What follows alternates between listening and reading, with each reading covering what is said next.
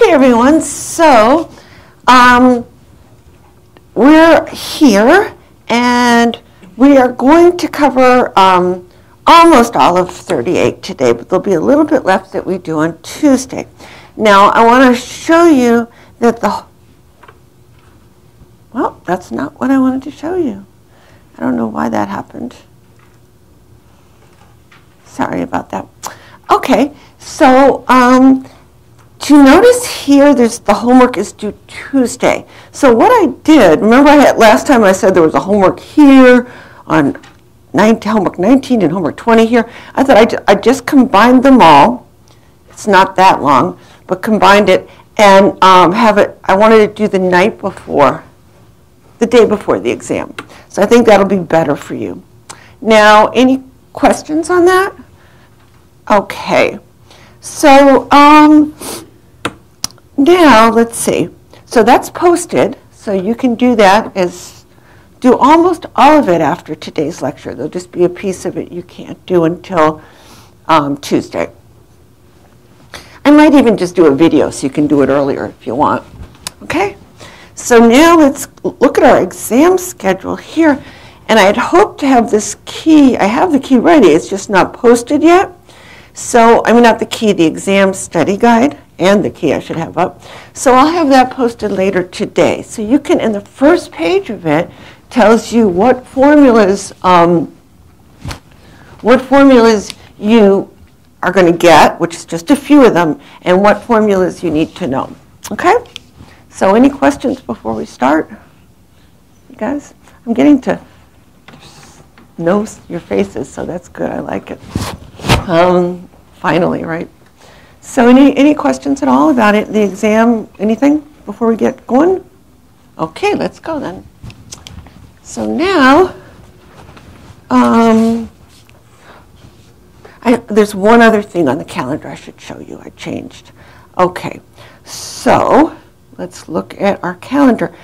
I did have an R bonus assignment to do here, and I thought, well, that's not really good. You're studying for the exam, you're probably exhausted, we don't have a class here.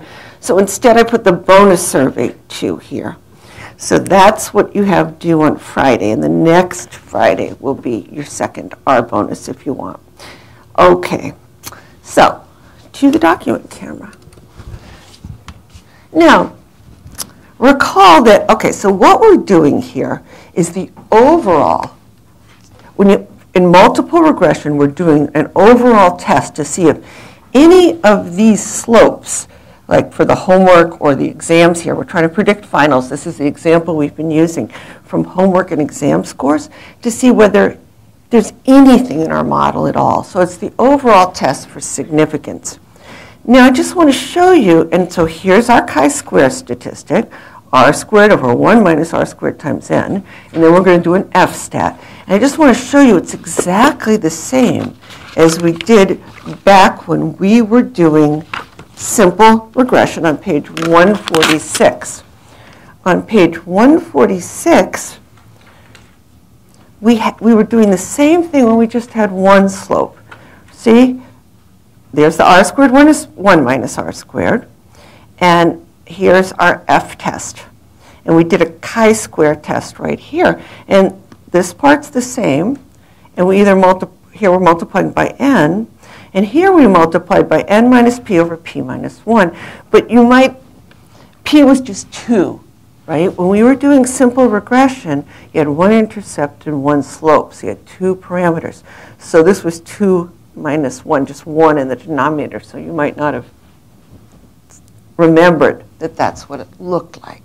So we've already done all this. We've set up the whole structure. We did the ANOVA table.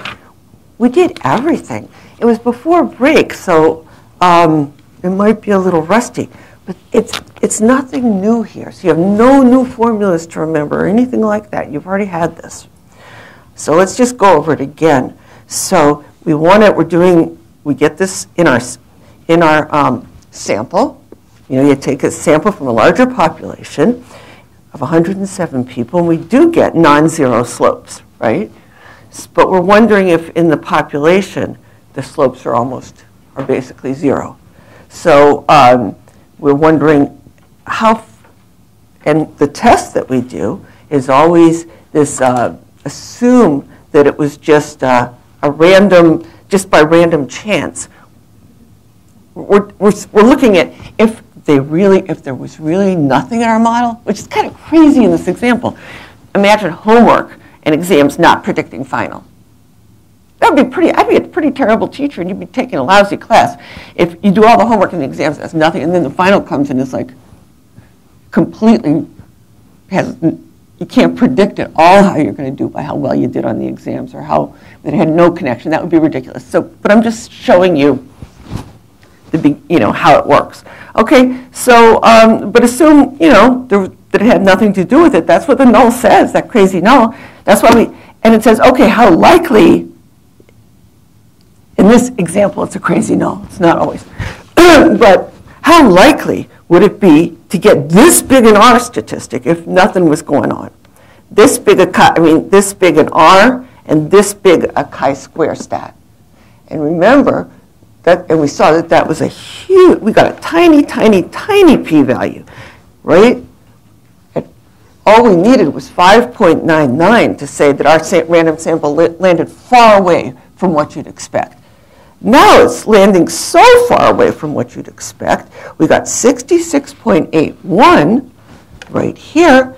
And I don't know if you remember, but we'd expect to get, when the null is true, you remember for the f, we'd expect to get 1, and for the chi-square, we expect to get its degrees of freedom, which is 2.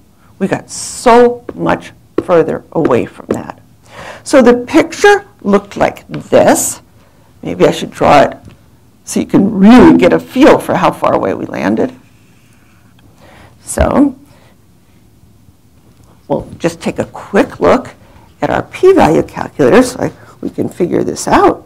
And we'll go back to the uh, PC here and look at that.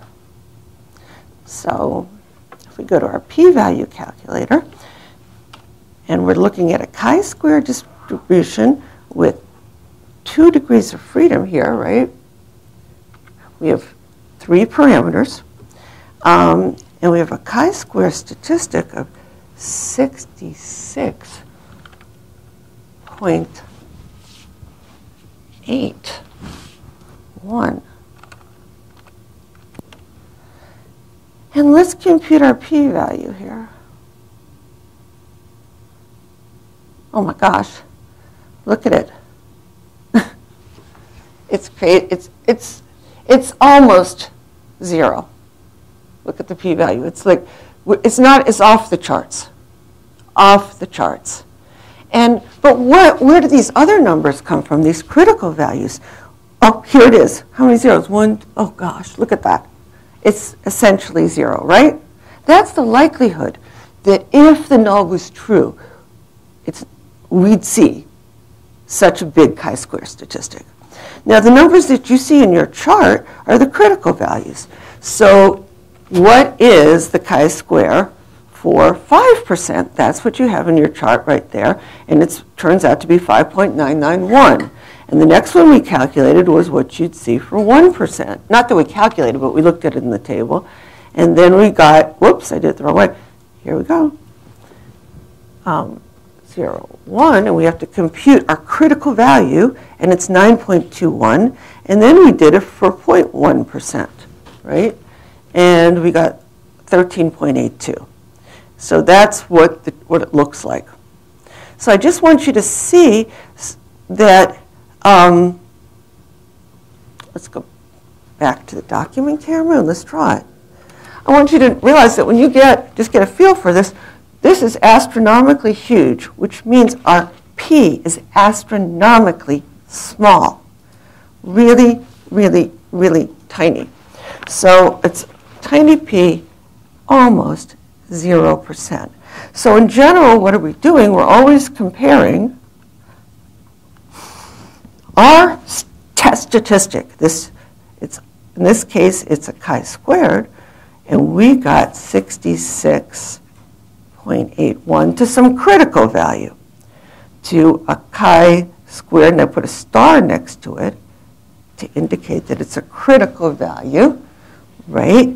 And in this case, it has two degrees of freedom. It's usually put there. So um, when the null is true, this statistic, this chi-square statistic, is distributed as a chi-square curve with two degrees of freedom. Okay? And now we're, like if we check this one, if we want to compare it, we'll probably compare it, why don't we compare it to the point one? So at alpha equals 0.1%, but usually see it as 0.001. That's the same thing as 0.1%, right? And we got, when we did that, 13.82. And we compare those two. And ours is so much, just let's draw the more accurate chi-square. It doesn't start to look like that till probably about 4 degrees of freedom with this. Or 3, okay. Here we go. It's like that.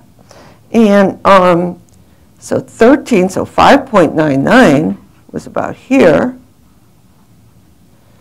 And that was uh, the critical value at 5%. What does that mean? It means that this area here is 5%. All the way out there is 5%. That's what that means. So all the way out here is 5%. Then we have the 9.21, and then we have ours at about, let's just say, then we have another one, I don't know, let's put it there. That was at 0.1%. We got a chi, a critical value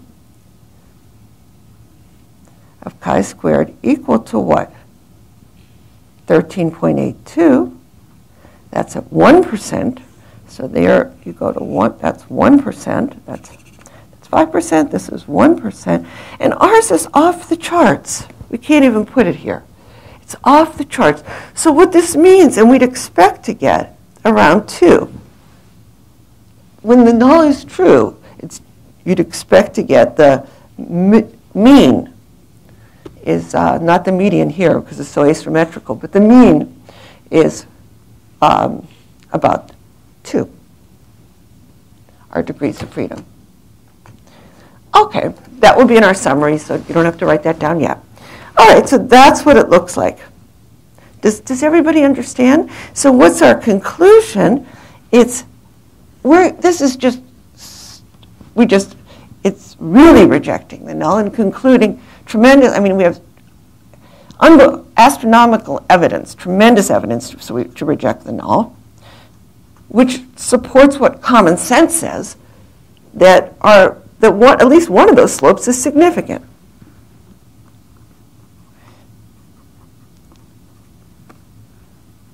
Either exams, homework, or both, at least one of them, is significant, is non-zero. So that's the idea. And later on in the hour, we're going to look and see how to figure out which one of them is significant. One, both, you know, we're just going to look at that. But first, before we do that, this was the chi-square test. And we have a large enough sample, it's going to be very, in very close agreement. Our p-value is going to be very similar to what we get when we do the f-test. And the only difference is going to be what? We're going to still have this r squared over 1 minus r squared, but, in, but instead of, we're going to tweak this n, n minus p, so it will be n 107 minus um, our p, which is 3. So it's going to be n minus p, which is 104, we'll multiply by 104, and divide by p minus 1, divide by 2. So basically, we're going to get Multiplying by 104 versus 107 is not going to change it much. The statistic's going to look about half as big. We'll get something about 33. Okay? Let's look and see if we do. All right. So now we're going to get the same p-value, very close to the same p-value. All right. The f-test is usually done using ANOVA. We're going to do that next but it's easiest to think of it as a slight adjustment of the chi-square.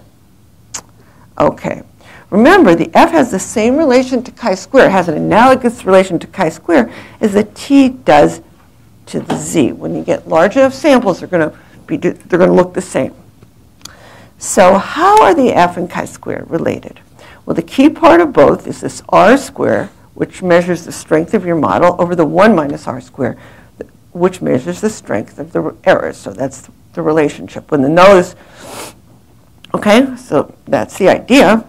And um, the chi-square curves are pretty much based, are the, based on the normal curves. They're the um, sum of squared z-scores. This chi-square is sum of squared z-scores. And the f curves are, are sort of analogously based on the t curves. You saw that with one degree of freedom, t squared was f, same as f, and um, z squared was the same as chi squared. All right, so the f-test gives you slightly more precision. Let's write that down. I mean, underline it. So you remember the p-value is always going to be just slightly larger. Maybe it's undetectably larger, but slightly larger. And so you need more evidence to reject the null, but the difference is negligible with large samples. So let's look how the two stats are related. So you see, basically you have the strength of the model, and then you have the strength, then you have the errors, sort of the average errors. There's n points, and so you're dividing by n there. And that, when you simplify, that's in the numerator. Now what are you doing here? Here you have the model, and here's how many parameters you have in the model minus the intercept, because we don't really care about that, right? And here is 1 minus r squared time divided by that tweaked n. Remember? N minus p. It's all, it's, it's because we don't, we're not, we don't know. It takes into account we don't know the standard deviations of, the, of all the variables. And there's, okay? So that's the idea. And so then it looks like this. So the difference is right here. All right. Okay. Now let's compute our f. It's the same thing we did. So I think if you understand the structure, you're not to, you're to need to do this on the exam. So I want to, um, it's really not too hard. Just remember, it's r squared over 1 minus r squared. So it's 0.2 squared over r squared over, you know, over 1 minus 0.62 squared. That part's the same. And then instead of just multiplying by 1, this is what you did when you did the chi-square, right? You can start there. That's the chi-square. Just multiply by n. That's the simplest one to remember. Then, okay, this is n. You remember that degrees of freedom are n minus p. So it's n minus the number of parameters. And how do you know what the number of parameters is? It was from the previous page. We had a model that had, we had an intercept and two, two slopes. So there's three parameters. That's what we had. This was homework, and this was exams, and that's the intercept. So there's three parameters. Remember that. That was from the previous page. And so now we have, um, so we have n minus 3 and 3 minus 1. Okay?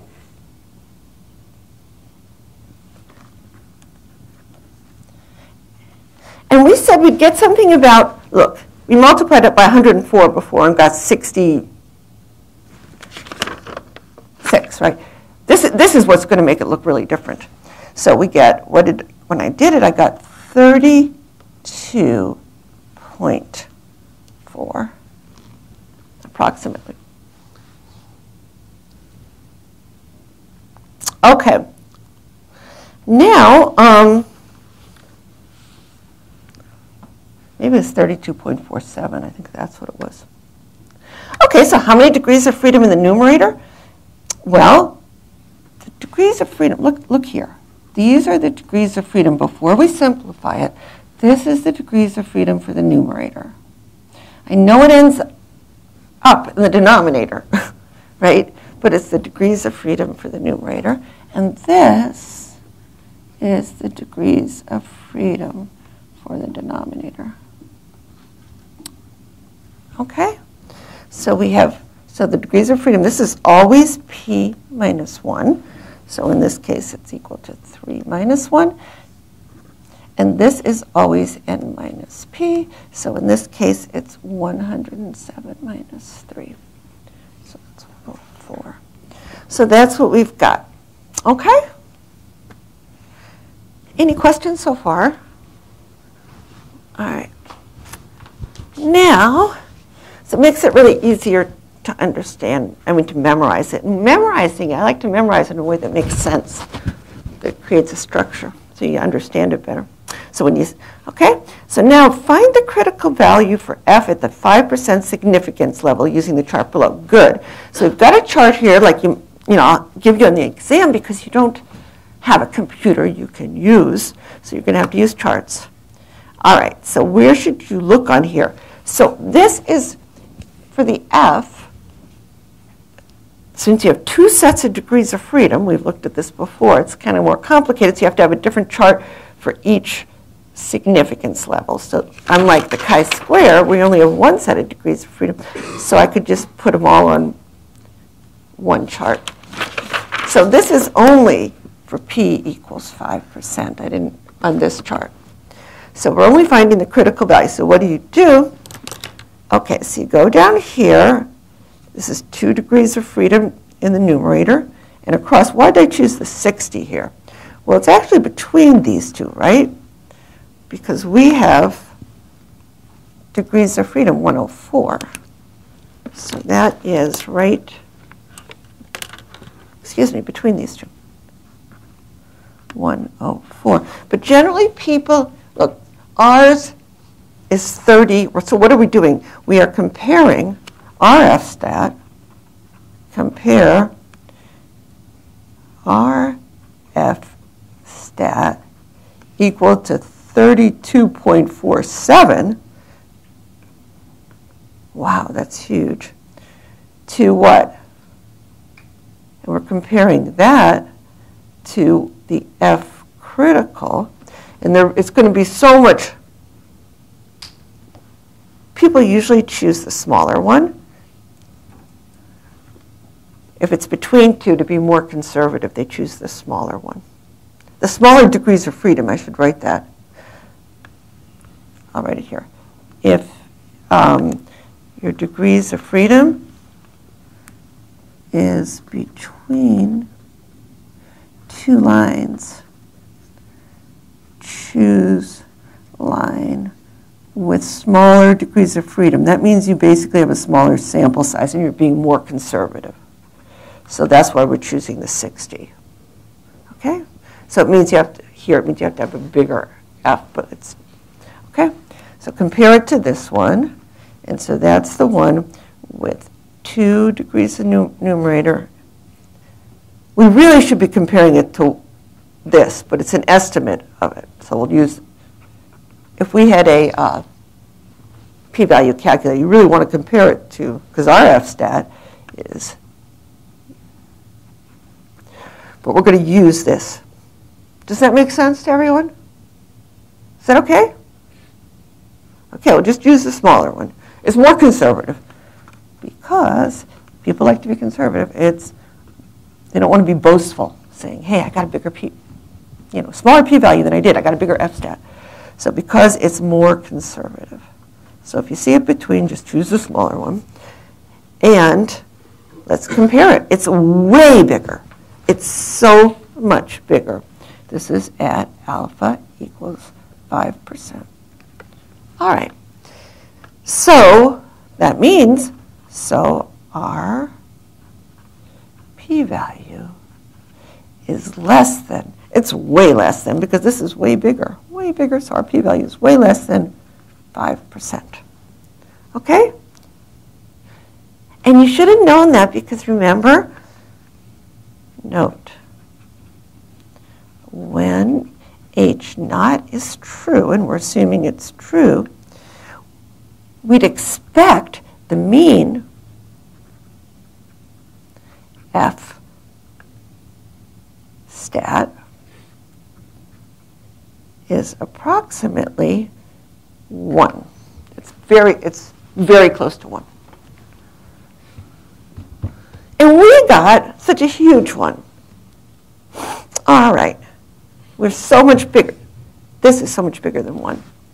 Any questions on that? Does that make sense? Is it ringing a bell? Do you remember we did all this before? Do you remember? This isn't anything new. All right, now let's go on. And um, here we are. You might wonder why the F-stats. Let's just look at the F-stats, okay?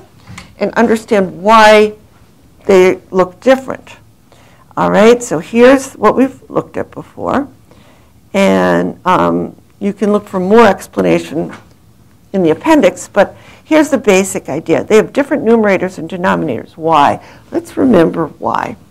The denominators we've talked about a lot. Um, remember that the F-stat, just like the T-stat, is the statistic we use when we have normal distributions. We assume normality with the T, and we're doing it, but don't know the standard deviations of each variable and have to estimate them from the sample SDs. So we make these two adjustments, right? We make the SDs a little larger by using SD plus, right? That's the first thing we do. So we get that. Then we square the SDs to get the variances. So this is the difference right here. So we're putting in 104 in this example instead of 107. For the, you know, we're multiplying by 104 instead of 107. So that's the difference in the denominators right here. That's the n minus p difference that then appears up here. Okay? And then the second difference is we use the f curve, and this is instead of the chi-square curves. And unlike the chi-square curves, there's a different f curve for each degrees of freedom in the denominator, for each difference in sample size. And the f curves have fatter tails, so you need more evidence, just like the t's. So f and t, like fat, right? Think f, a, t, f and t have fatter tails, then what? Chi squared. And what do you think? T corresponds to Z. That means, so, fatter tails, tails, the area of the tails is your p-value. So F and T have bigger p-values. Than their corresponding chi-squared and c. But that difference becomes negligible. But the st statistic looks very different. So that explains the denominators, and that's, that's the same thing we did with the t. But what about the numerators? Why are they so different? Why, you know, the chi-square stat has a numerator. Look at this. You see, here we multiplied by, here we're dividing by p minus 1. That's p minus 1 times the f stat. We just saw that. We just saw that our chi-squared was twice as big. It was 60, instead of 32.47, it was just about twice as big. It was 66.81. Not exactly, because there's that little, we multiplied by 107 in one and 104 in the other. But that's a big difference. But it doesn't, it's just, okay, why? The difference in the numerators is conceptually meaningless. So it's very confusing to people because most people think they're very different distributions because, you know, they don't, you don't get the same statistic, not even close. You get, depending on the number of parameters, one is, you know, look, they look a lot different. It's just, and it's just due to a historical accident, really, of who decided to name, who decided what names to write down. It's kind of crazy, but this is true. So Fisher, this is which I like that, what he did. Fisher decided it would be nice to divide the numerator by the degrees of freedom in the F-test, since it makes typical values, stat values, about 1 when the null is true, regardless of the number of degrees of freedom. And that's super nice. That's like with the nor with the T and the um, Z. You can ask, you know, you know when the null is true, you're going to get a statistic around zero. So now when the null is true using the F, you get a statistic around one. And that makes a lot of sense because when the null is true, you're thinking of it's basically, remember we talked about this?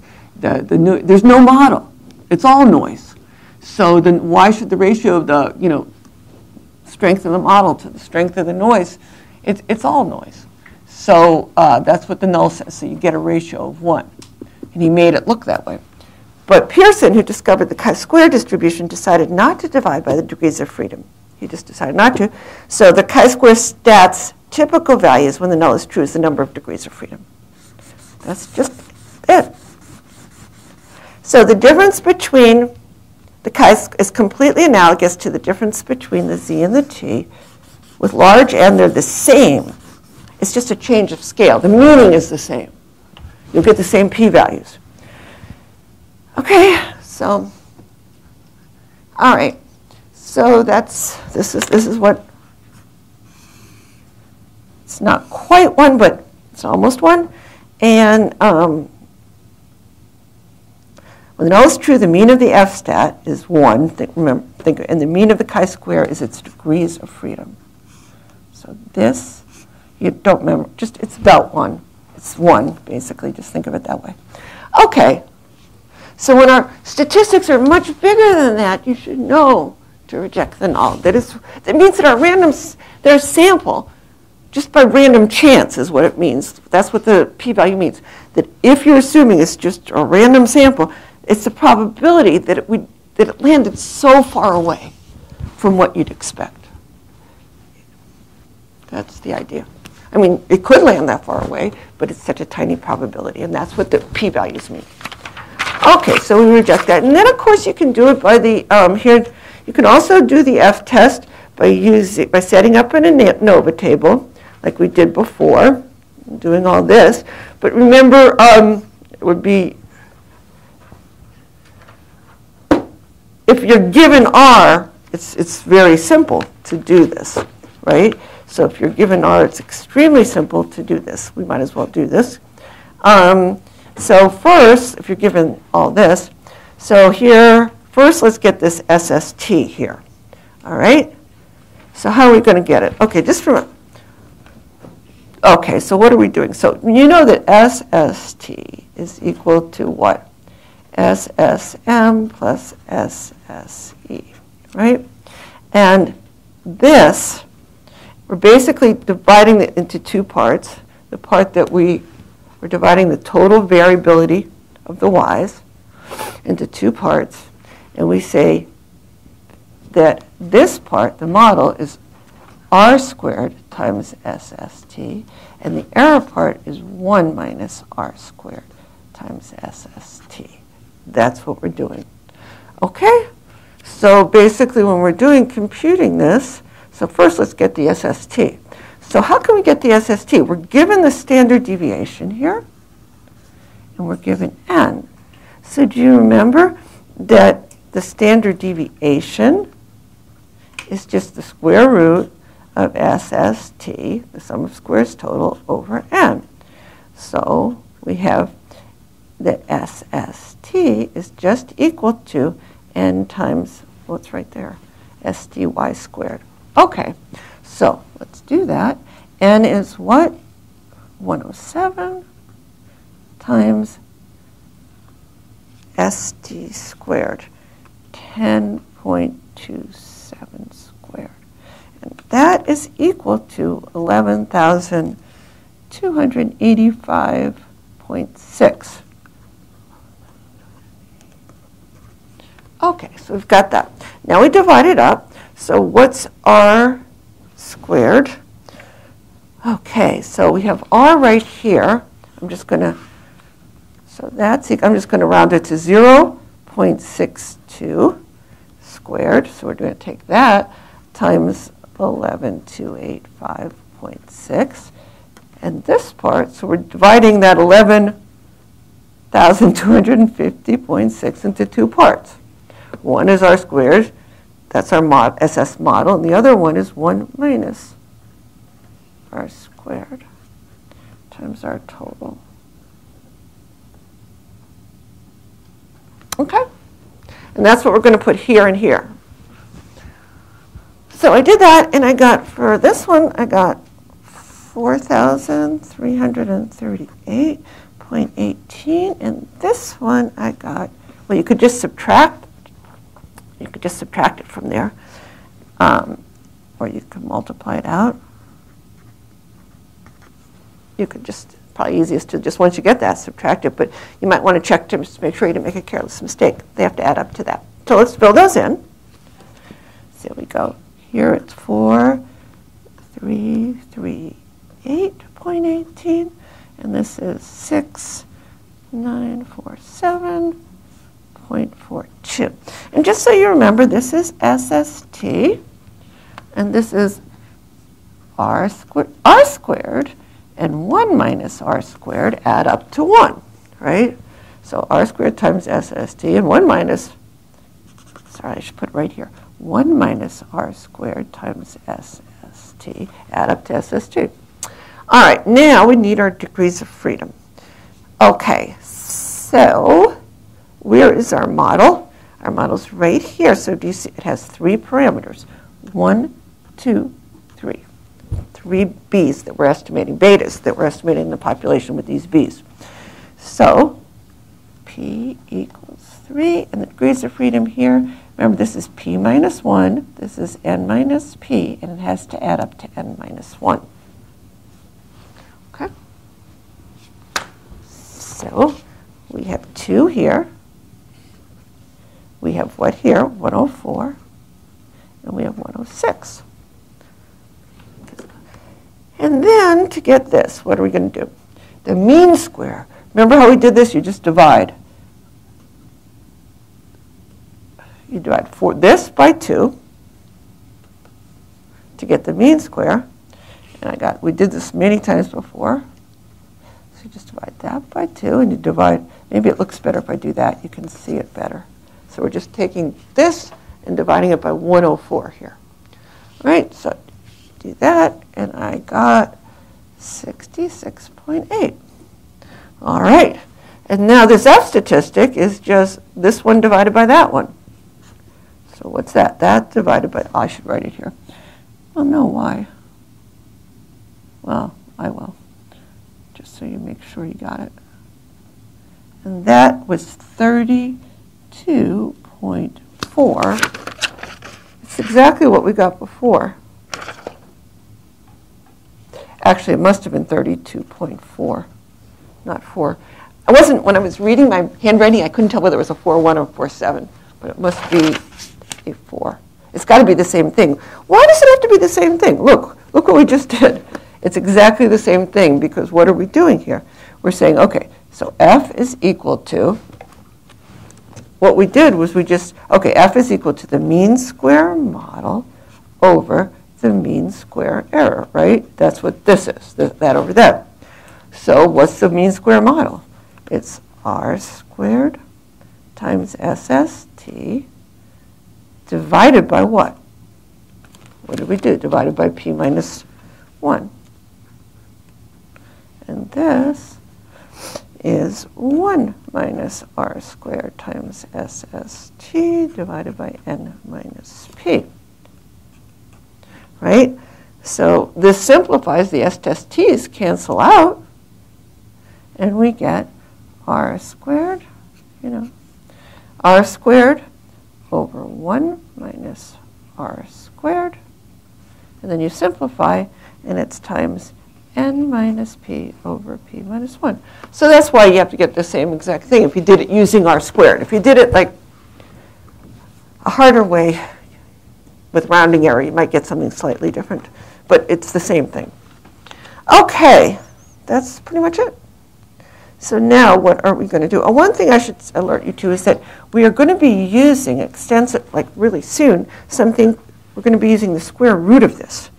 So, and that's called the standard, we're going to be, remember the standard, we've done it many times, so the square root of the mean square error is SD plus for the errors. You see? We're taking the sum of squares and multiplying by n minus p, so it's SD plus instead of SD errors. All right. Remember the square, do you remember the square root of 1 minus r squared times the standard deviation of the y is SD errors. So we've got that, so let's just write it in. So the square root of 66.8 is what we want for the SD plus errors. All right. I think there's one like this on your homework. And certainly you'll have to do this on the exam. So, we're done with that. Now, so all summary, summary, summary, summary. Um, this is just some practice here. Should we do it now? Would you like to do it now? You might as well while you're in the groove or not. Might as well just do it now. Okay. So, I mean, this is explanation here. Mm, let's just remember it. Okay, our unifying theme, separating signal from noise. R squared, this is a fraction of the, okay, R squared measures the strength of the model. 1 minus R squared measures the strength of the errors. So we've got that and that. All right. They're the test statistics we use to find p-values to answer our, the question. What question? Is our sample signal big enough to reflect a real simple signal in the population, or is it just due to sampling variation? Okay? That's all it's doing. It's a measure of how far, assuming it was a ran, just by random chance, how far it landed from what we'd expect. And if it lands too far, we say there must be a signal in there. Can't all be noise. Our model must include our, our model must include a little signal or a big signal. Okay, notice the bigger n is, the bigger your test statistic. That's why it's really nice to remember it this way. n is in the numerator. Why? So why, I mean, like when you simplify it, bigger your sample, the bigger your test statistic. That makes sense because, let's just do, so this one. That makes sense. Since the bigger your sample size, the better you'll be able to detect a real signal in the population. If you have a tiny little sample size, you might not detect it. But if you have the bigger your sample size, the more likely you are to detect a real signal if it's there in the population. If you had data on the whole population, you could detect any signal, no matter how small it was. All right, so let's do our example here. And what are we doing? Okay, so this is just sort of just the bare bones of it. Okay, I need a highlighter. Mine ran out of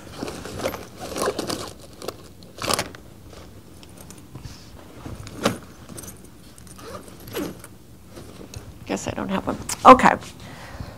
So, um, let's say just given this model. This, this is just our model. So what is it that, that um, okay, so this is what we think is going on, and where our null is what? Our null is that all these betas, are, all these slopes are zero. Okay. And so how many parameters do we have? So we have one, two, three, four parameters, right? That is just an error term. That's not a parameter. Okay? So P equals 4. And what else do we need to know? N equals 1 and R equals 0.1. So now we can, those are the only things we need to know to compute both either the F or the chi-square. That's all we need to know. So here, let's do this. Let's um, compute R squared and 1 minus R squared. This is such an easy example. So r squared is just going to be that squared, so it's 0.01. And 1 minus r squared then has to be 0.99. Okay? So now for the chi-square, how many degrees of freedom? So the degrees of freedom for the chi-square, what is it? That's just p minus 1, okay? So that's equal to 3, because we have 4 minus 1. So we have 3 degrees of freedom for the chi-square. You only have one set of degrees of freedom. However many slopes you have is your degrees of freedom for the chi-square. All right, now, oh, compute the chi-squared. That's easy. You should know it without even like watching. Just think. Write something down. See if you can get, without even looking, just write down what you think it would be. Without looking at anything. You should know this right now before I write it down. Okay, so you should just think, okay, for all, for both of them, I'm just going to do r squared over 1 minus r squared. That's a given. Now, the chi-squared is super easy. You just multiply by n. That's it. We're, now we'll just fill in the numbers. So we have 0.01 over 0.99 times um, n, which is 100. So I got 1.01. All right? There. Now, remember, we'd expect it to be about 3. So it has to be quite a bit larger than when the null is true. That's the mean. Look how much smaller. So this, we are not going to reject the null. And if we looked at um, the critical value, let's see, what the chi-square table? Oh, it only goes up to 24 here.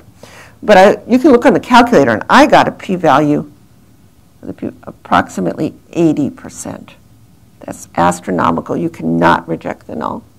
Now, how about the f? So for the f, what are we going to do? How many degrees of freedom? Well, it's going to have degrees of freedom in the numerator is p minus 1, which is the same as here. So that's pretty easy. And the degrees of freedom in the denominator is n minus p. So in this case, what do we have? n is 100 minus 4, so it's 96. Okay? So now we're going to do the same thing. Do I have room here? Maybe. What are we going to do? I'm just going to start with that same 0.1. This part's the same over 0.99. And then I'm going to multiply by, instead of multiplying by 100, I multiply by 96. Now that would make it look very similar to this, just a little bit smaller. But we have to divide by that, what? By 3. And that's what's going to make our F statistic look just about one third of that. We should get about 0.3 something. And I got 0.323 and the p-value is very similar. So it looks really different, but that's just because this one is centered at 1.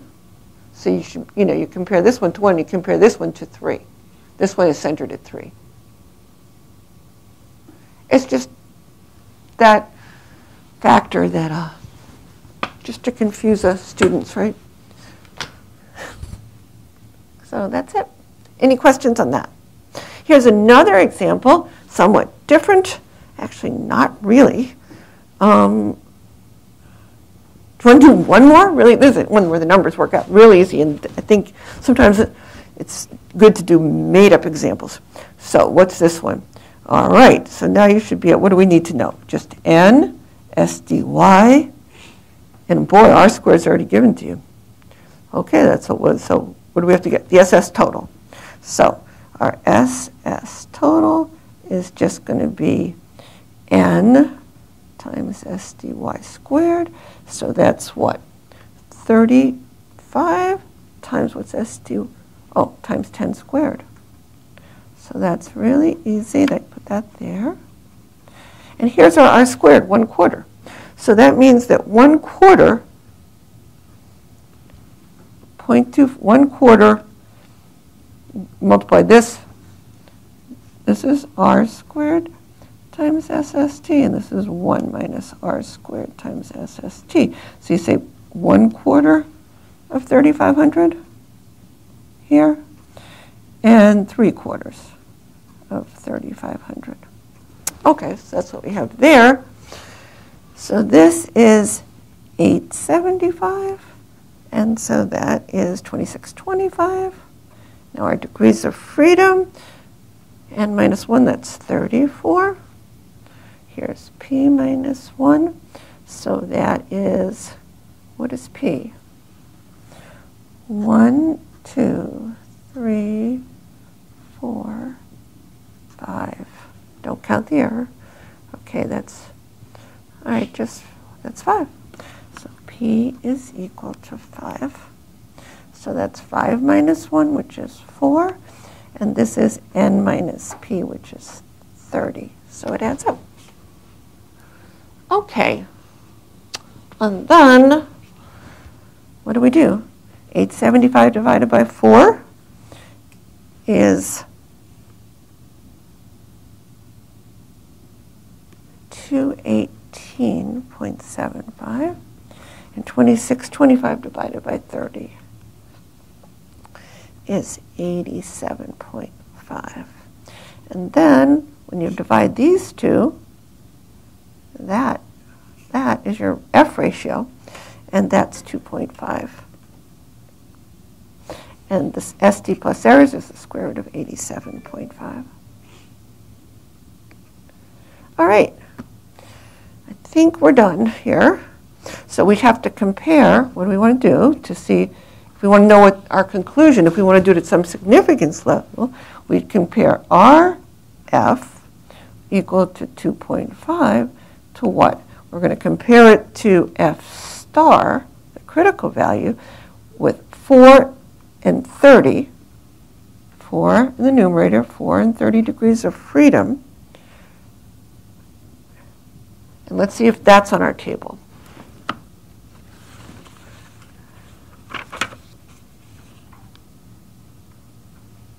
It is. Good. I think this was like taken from an exam. This is typical of an exam because here it is right on the table. So we go 4 and 30, and we find it right there. 2.69. See, 4 degrees. Sorry about that. Just go 4, and here's 30.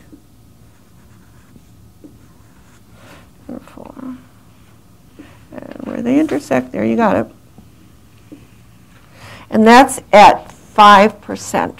See, it says right here. All right, so let's write that down. So that's 2.69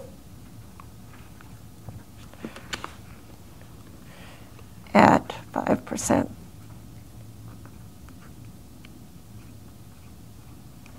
All right, and how do they compare? It's less. Whoa, what does that mean? Remember the picture. Less. Okay, so our picture, draw a little picture here, is going to look like what? It'll look something like, it's always positive, remember? It's pretty close. It's still going to be asymmetrical. I'm sorry, I didn't draw it very asymmetrical. But it's all positive. This is our F. And right here is our critical value. And it's 2.69. This is 5%. And we didn't get beyond that. We're right here at 2.5. So that means that this is more than 5%. Our p-value is more than 5%. It's about 6.5% or something. It's pretty close. That doesn't, but if you have, want to go by that strict cutoff, I would, you know, the people do. I don't really think I think it's important to report the p-value, but if, on an exam, if we went by, let's say, can you reject at 5%? No. So ours is last, so p-value is greater than 5%, cannot reject the null. What does that mean?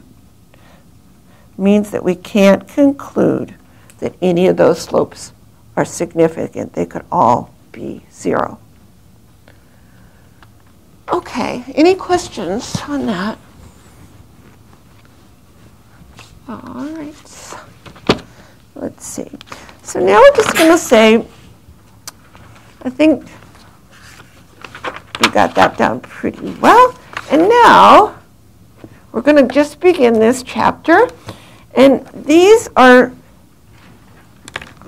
once we find that at least one of the slopes is significant,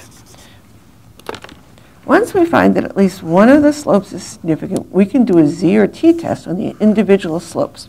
Now remember, these aren't the same slopes as in the simple regressions. These multiple regression slopes, we talked about this a lot, are the partial slopes because they're the slopes that explain the part of y that's left after the other x's in the model have already done their part in predicting y. So how much extra predictor value can you get once you've already put the, all the other x's in the model? So the slopes in the full model are each only contributing their separate part. Whereas in the simple regression, the slope for x includes the effect of all the other variables that are both correlated with it and with the response variable.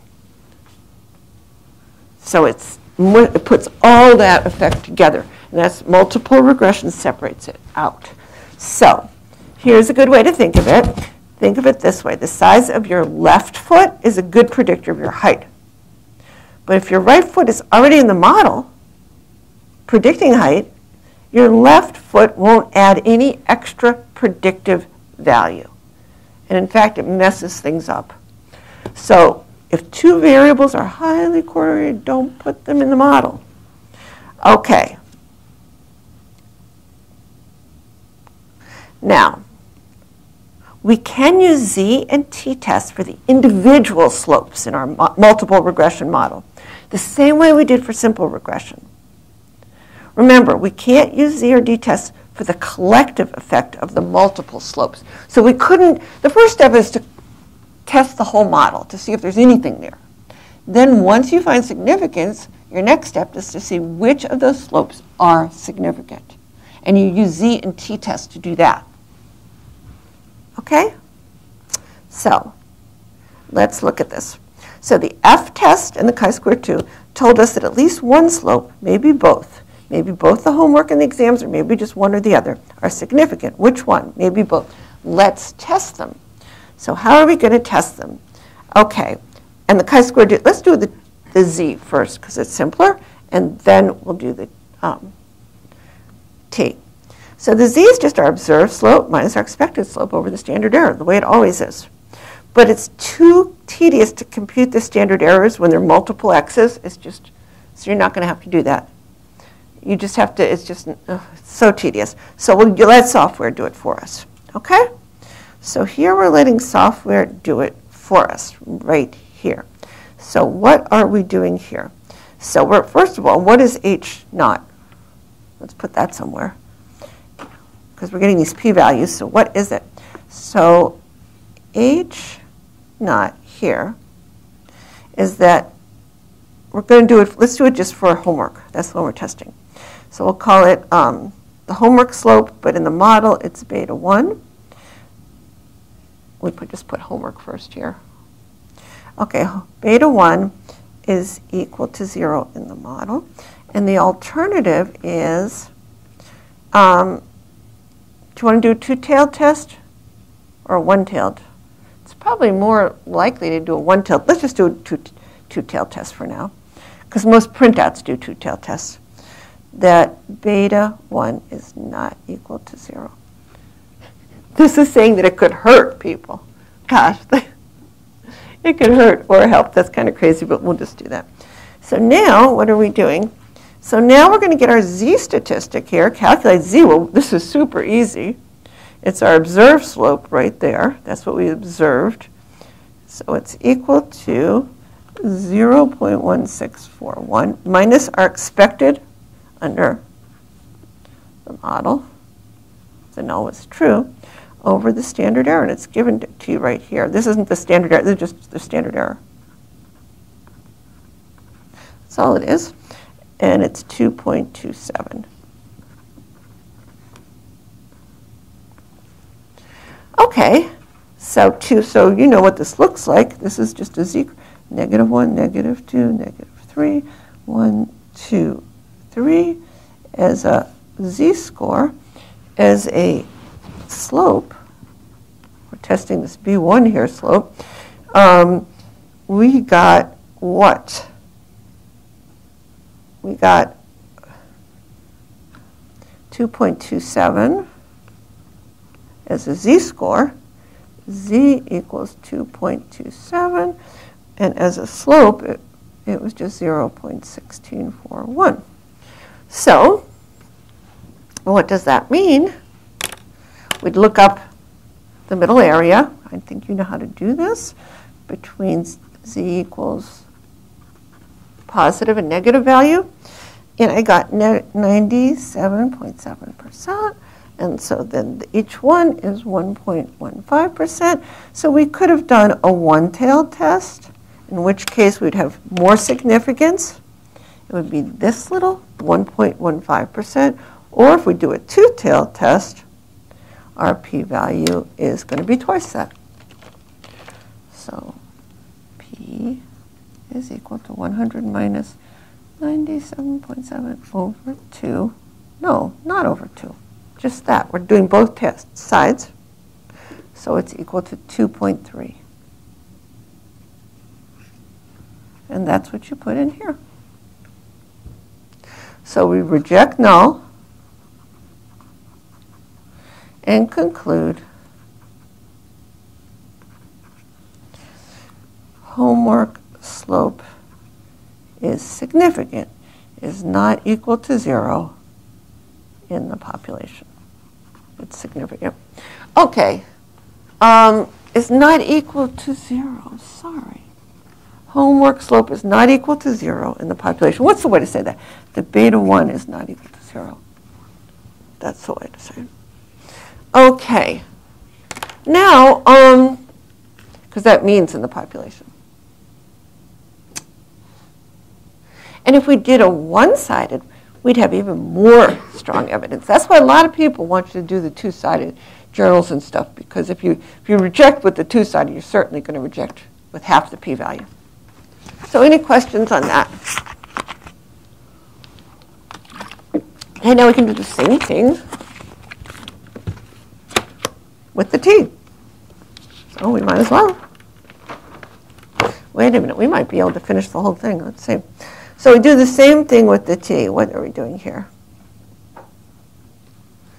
Okay, so now, again, we could have just looked, okay, so here we're just going to say, what's the difference? We're just going to use SE plus, which is just a tweak version of the SE, right? It's just a little bit bigger.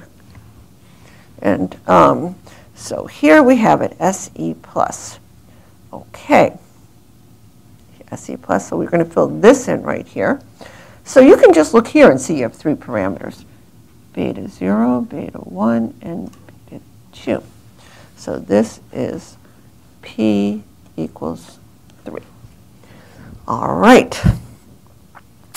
And that's why you have 104 degrees of freedom here. It's 107 minus 3. Okay. Okay. Now,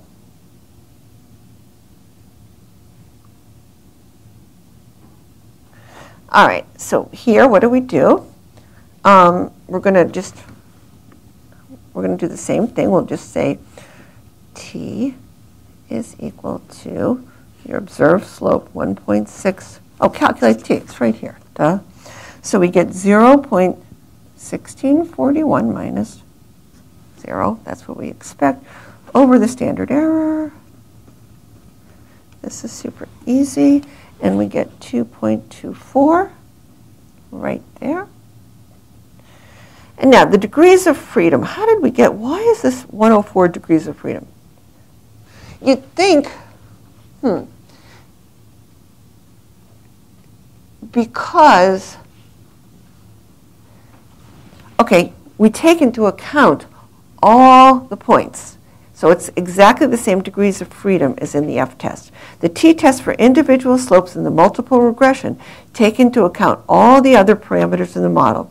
So you need to adjust the degrees of freedom accordingly. You don't just do n minus 1 like we did with, you know, or n minus 2. You have to take into account all of them, all right? Because um, that's how we computed the errors based on computed that slope based on all the parameters being in the model. So you have to do n minus the total parameters in the model. So when we just had two parameters for simple regression, we did n minus 2. So remember, now it's n minus 3. If we had four parameters, it would be n minus 4. So that's really the only difference. Okay?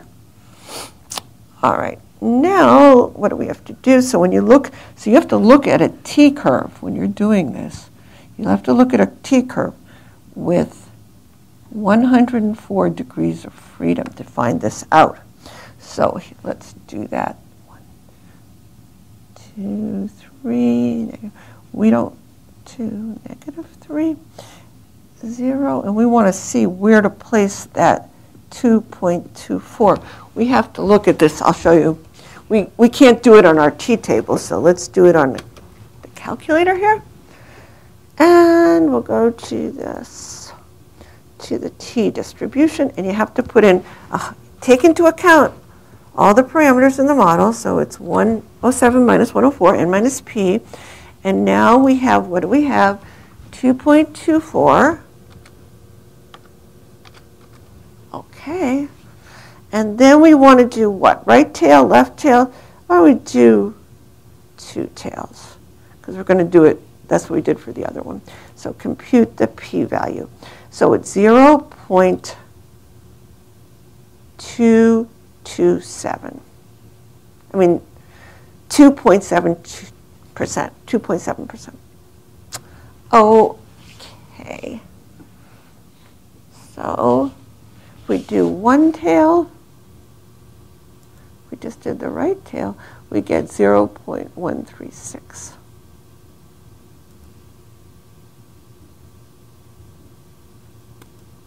Okay. Well, let's do it.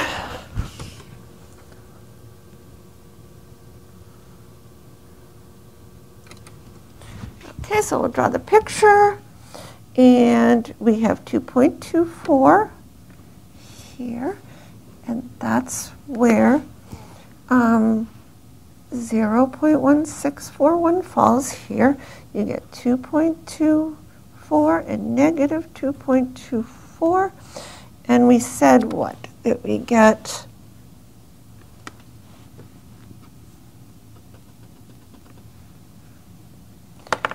one point, was this like 2.7? I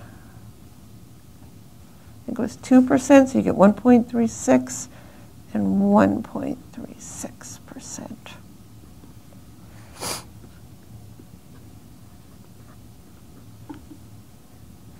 So our p-value is bigger, 2.7 instead of 2.3. Yes, because t has fatter tails. All right, now what about confidence intervals? Hmm, let's do that. We probably won't finish this chapter. I'm going to leave I'll leave the last two pages because I'm getting tired. How about you guys? Oh, you know, it's this like when you look at all these little. All right, confidence intervals. Let's do that. Remember, there. If the what did we get here? Are we rejecting the null or not rejecting the null? Yes, we're rejecting the null here because this is so that means our confidence, our 5% confidence interval will not include zero and it doesn't. See how the, for homework it doesn't include zero, right? And it doesn't using z either. Good, it agrees. So what are we doing here? For confidence intervals for individual slopes using the t. So what is this number here? Here's we have the same thing. We have the same standard error. What's going on here? What are we doing? Remember what a 95% confidence interval is it's going to be a 95%, let's do it with the z first, it's easier. 95% confidence interval is going to be equal to our test statistic, which is 0.1641 plus or minus, we usually do 2, but this 1.96 is a little more exact. This is the critical value, and this is the critical value. Let me show you, and then we'll do it. So let's go over to the computer. So now we're on the z and the t. We'll do the z first, normal distribution. And what do we want to do? We want to find out what the z-score is for um, 5% for two tails, right? Confidence interval is always equivalent to two tails. This is 95% in the middle, right? And because and so that we've been rounding to 2. Now let's do the same thing for the t. So it depends on our degrees of freedom. So we have 104 degrees of freedom here. And we want to get a p-value of 0.5. We want the two, what 95% in the middle. We could have put 95 in the middle. It's the same thing. We did two tails. We could have put 90. I wanted to compute that. Sorry. It's jumped around on me. Okay, 0, 0, 5. And I want to compute the t. So it's 1.983. It's bigger.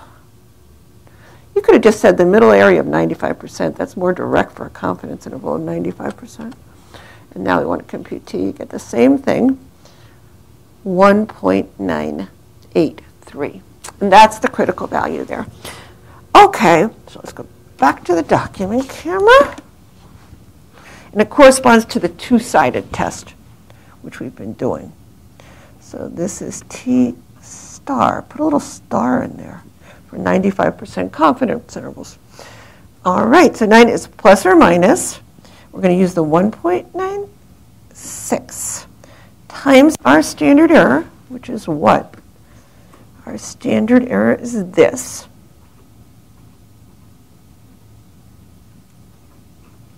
And that's where you get this right here. That's the same thing as that, if you did it out. And here, using the t, it would be the same thing, plus or minus the critical value. It's a little bit bigger here. And then times also a little bit bigger standard error. So you can see. And then we should say, does it agree? Yes. Why? Because our 95% confidence intervals do not include zero. That's the same, remember, as reject, same as rejecting the null. That beta is equal to zero for a two-sided test because it has 95% in the middle, a two-sided test. Add.